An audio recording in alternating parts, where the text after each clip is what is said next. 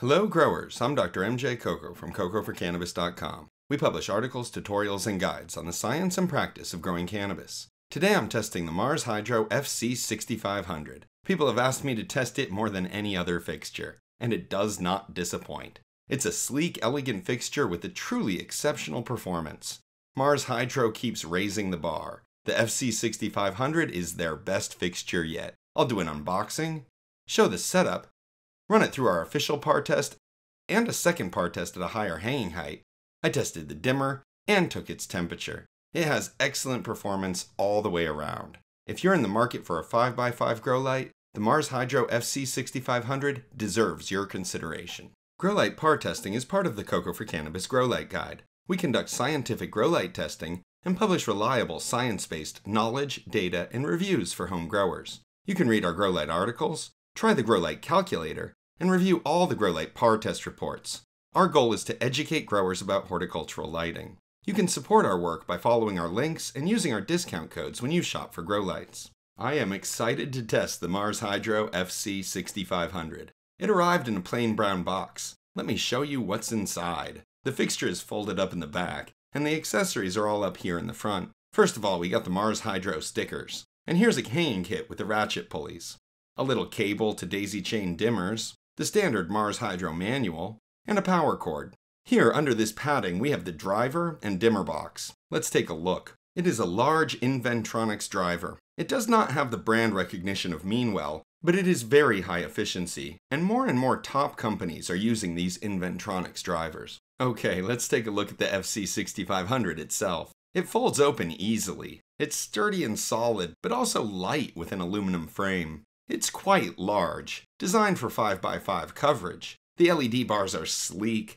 The diodes are well spaced out, so heat is not a major concern, and they can avoid heavy heat sinks. The Mars Hydro FC6500 boasts 3,144 top of the line diodes.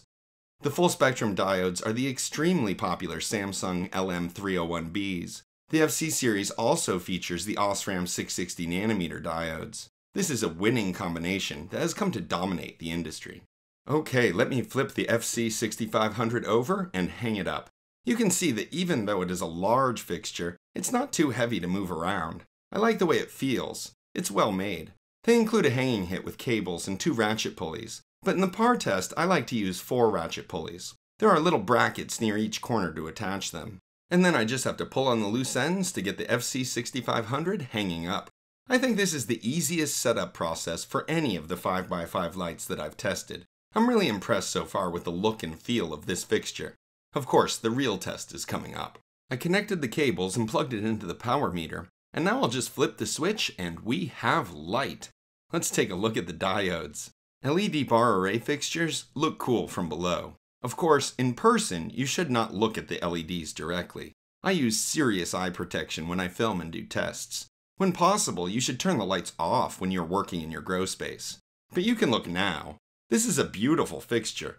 Long rows of diodes bathing the canopy in dense par light. Let's look up close at one LED bar. You can see the two different colors of the full spectrum diodes. The whiter ones are up about 5000K, and the warmer ones are about 3000K. Among them, you see the occasional red glow from the Osram 660 nanometer diodes. As I mentioned, they use a total of 3,144 diodes. It is a really respectable number for a 650 watt fixture. I have to let them all warm up and stabilize before running the PAR test. So let's head over to the Mars Hydro website to see what we should expect. Alright, this is the product page for the FC6500 on the Mars Hydro website. Product pages like this are always designed for marketing. There's usually a lot of information that is more sales pitch than science. But there are three pieces of information here that will allow us to get a better sense about the FC6500. First, of course, is the price. We see here that the current price is about $990. We have a discount code that will make that a little less. For the best deal on Mars Hydro fixtures, shop marshydro.com and use discount code CCFC. In addition to the cost, we need to know the power draw. The published power draw for the FC6500 is 650 watts. Some growers only use watts to evaluate grow lights, but to do it right, we also need to consider efficiency. Here, Mars Hydro claims a photon efficiency of 2.9 micromoles per joule. You gotta be careful with these numbers though. They're often just calculated estimates of efficiency. We developed our Grow Light calculator to help growers analyze these data fairly. Let's run some calculations together. Here we are at the Coco for Cannabis Grow Light calculator. This is our tool to help growers estimate how a fixture will perform in an actual grow space. We load all our tested fixtures in the calculator on the right. You can see the FC3000, which I tested a few months ago. In this calculator on the left, you can enter manufacturer data about any fixture. I'll enter the data we gathered from Mars Hydro about the FC6500. The power draw is 650 watts. The current price is $990, a little less when you use discount code CCFC. And then we need to enter the data about the photon flux or the photon efficiency. The calculator gives options for different types of photon flux data. Most manufacturers provide calculated ppf data. If the data is from an integrating sphere test, we would select total ppf.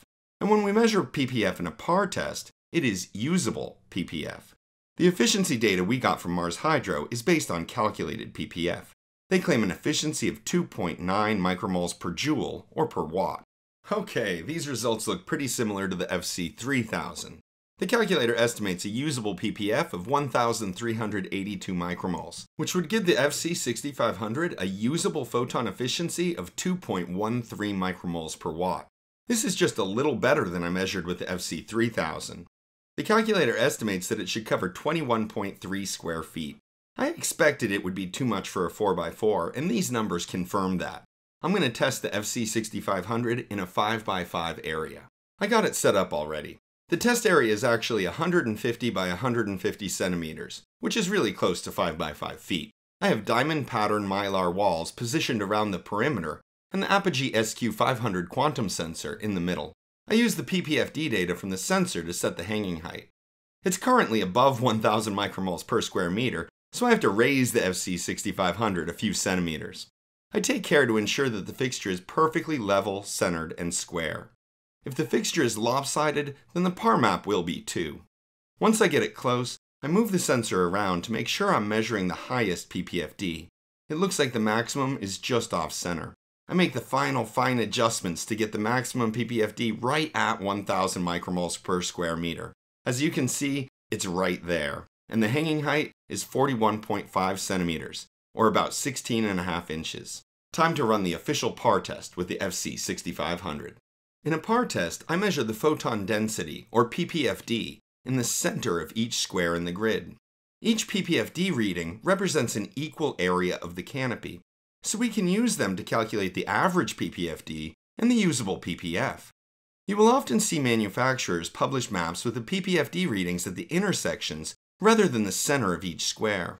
Doing that moves the sampling locations closer to the center and inflates the numbers. It is not a valid scientific sampling strategy.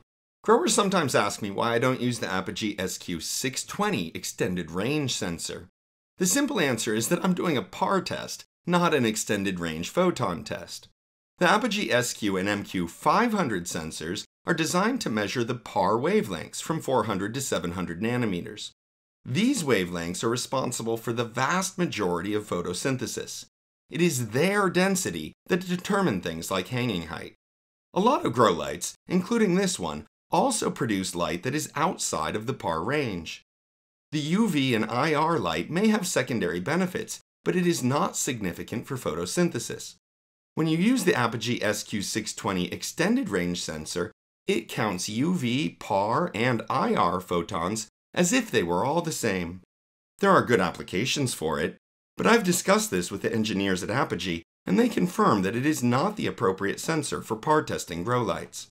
The Apogee SQ and MQ500 sensors are the best quantum sensors for our purposes. Back to this test, the PAR map is better than I thought it was going to be. Let's check it out. This is a really good 5x5 PAR map. You'll notice that in the corners and along the right edge, the PPFD values are below the 500 micromole per square meter threshold. But I hope you also notice the large area of very dense light in the middle of the map. I can already tell that the map will be a lot better if we raise the fixture a few centimeters, but this is the height that will maximize the usable PPF. Let's run the numbers on this test.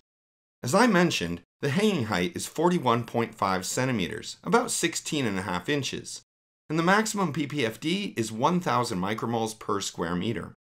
Across this PAR map, the average ppfd is 656.8 micromoles per square meter.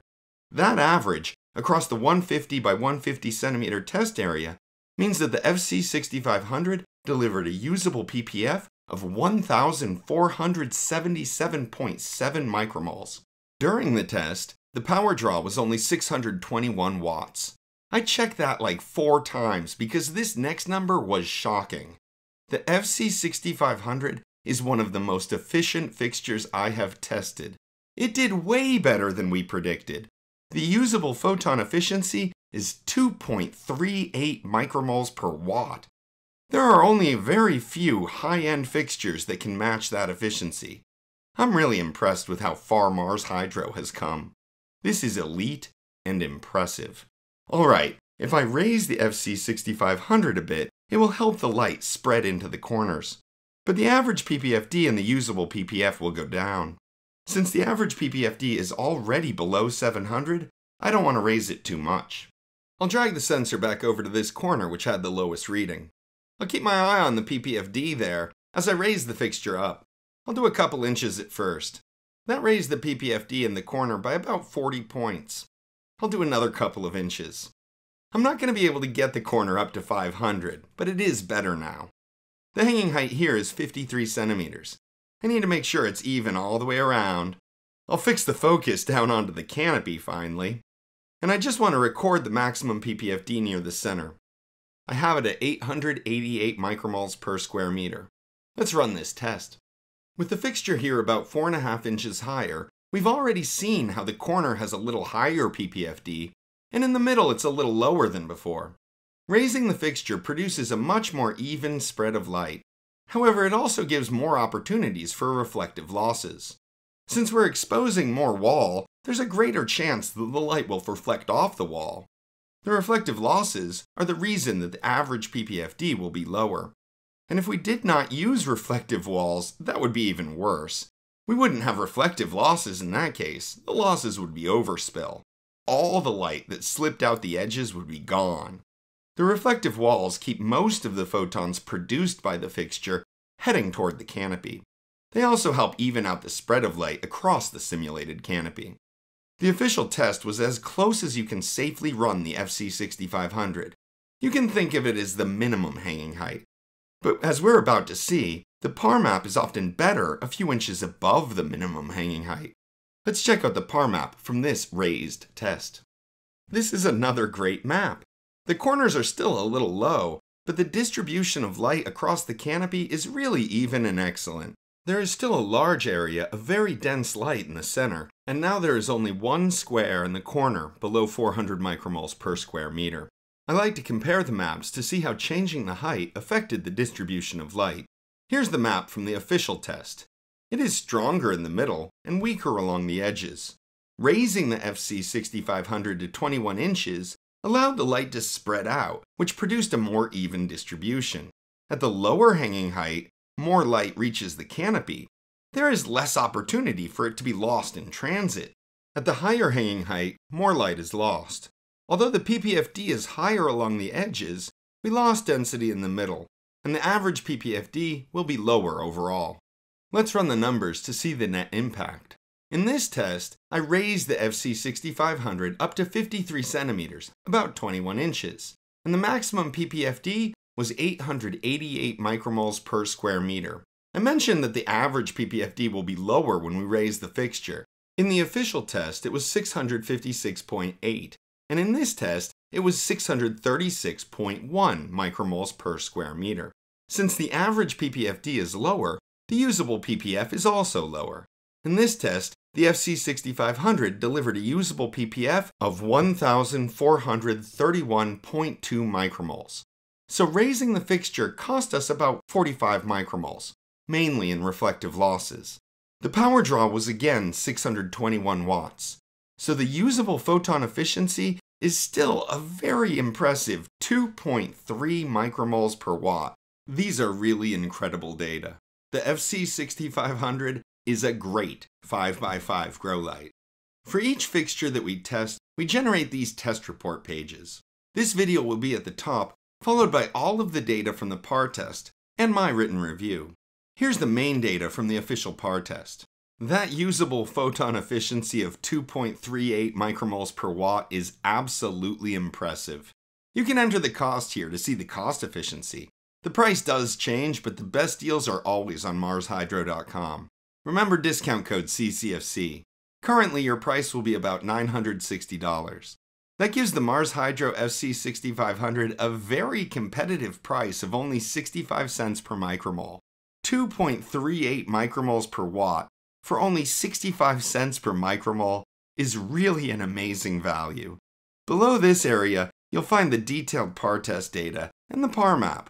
I put the two PAR maps with their data down below in my review. If you have a larger space, you can use this calculator to determine how many FC6500s you'd need for full coverage. And below that, you'll find my written review. The Mars Hydro FC6500 is a sleek and elegant fixture with truly exceptional performance. I'm impressed with the efficiency, coverage, design, and build quality. The FC6500 is the best fixture that Mars Hydro has produced, and it's among the best fixtures on the market for 5x5 coverage. The fixture itself runs pretty cool. The hottest temperature on the LED bars was 39.9 degrees Celsius, 103.8 Fahrenheit. The Inventronics driver ran slightly hotter at 53.4 degrees Celsius, 128.1 Fahrenheit. I also ran a dimming test at the official hanging height. The dimmer is very accurate. At each dimmer setting, the maximum PPFD is at or just below the dimmer percentage. You can see that when we dim it, the fixture becomes more efficient. So the maximum PPFD percentage is a little higher than the power draw percentage. In the graph here, you can see that each step down is consistent from the top to the bottom of the dimming range. The FC6500 is a top quality fixture with excellent performance. It can light up a 5x5 grow space. The retail price may seem high at first, but it is a huge and highly efficient light. It outperforms many competitive fixtures which are more expensive. It delivers an excellent distribution of light to the canopy, it has truly top end efficiency, and a quality fit and finish. I've recommended several of the recent offerings from Mars Hydro. The FC6500 is the best. If you're in the market for a 5x5 fixture, it certainly deserves your consideration. Coco for Cannabis grow light testing is impartial. We always put the grower's interest first. Our goal is to provide reliable, science based testing and reviews for home growers. We do not get paid for testing lights, but we do earn referrals when you make purchases using our codes. You can support our work simply by using our codes when you purchase a grow light. I'd like to thank Sean at Mars Hydro for sending me the light to test. And thank you for watching. Please give the video a thumbs up and subscribe to my channel. Check out my other PAR test and grow light physics videos. And I hope you come visit us at cocoforcannabis.com. We publish articles, tutorials, and guides on the science and practice of growing cannabis. You can read our articles, chat with our community, browse the Grow Light test reports, and try your hand at the Grow Light calculator. Join us in the Coco for Cannabis Grow Challenges, and let's grow together. I'm Dr. MJ Coco, sending all of you grower love.